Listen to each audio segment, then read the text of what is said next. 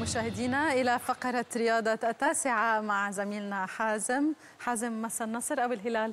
والله أعتقد أنه تعادل. يلا لنشوف.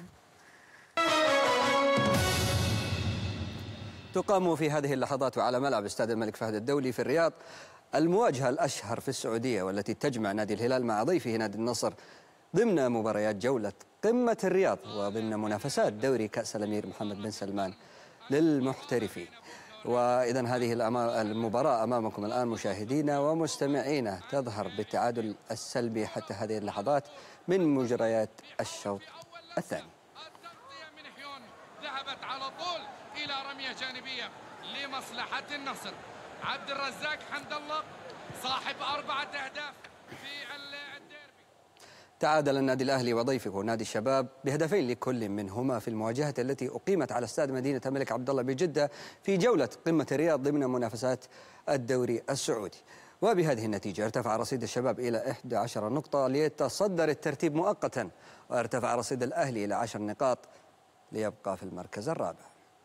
يصل مبكرا لمرمى الشباب وتصويبه! أضاع فرصة. خبراني خبراني يضيع فرصة. أوهو!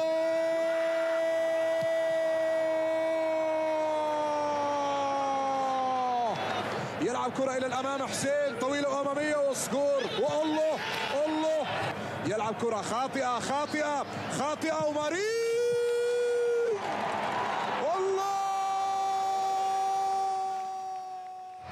حصل نادي الفيصلي على نقطة ثمينة من أمام نادي الاتحاد وذلك بعد تسجيل هدف التعادل في الوقت الإضافي من زمن المباراة والتي انتهت بهدف لكل منهما. في حين تعادل نادي الباطن أمام مستضيفه نادي القادسية بهدفين لكل فريق في جولة قمة الرياض ضمن منافسات الدوري السعودي. وبهذه النتيجة ارتفع رصيد نادي الفيصلي إلى تسع نقاط ليتقدم للمركز الخامس مؤقتا. وارتفع رصيد نادي الاتحاد إلى ست نقاط ليتقدم للمركز التاسع مؤقتا أيضا. فيما ارتفع رصيد النادي الباطن إلى سبع نقاط ليتقدم للمركز السابع مؤقتا وبفارق الأهداف عن نادي القادسية صاحب المركز التاسع. وأخيرا وصل النادي الرائد انتصاراته عقب تحقيقه الفوز أمام ضيفه نادي أبها بهدفين مقابل هدف.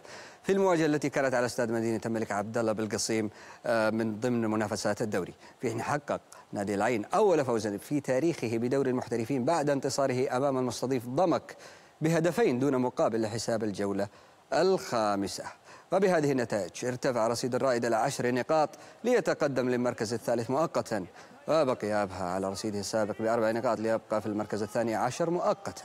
وحقق العين بهذا الانتصار أول الثلاث نقاط له في الدوري ليصعد إلى المركز الخامس عشر فيما توقف رصيد ضمك عند نقطة واحدة في المركز الأخير. انتهت رياضة التاسعة الآن عودة لغواء وعبد العزيز. شكرا لك حازم. من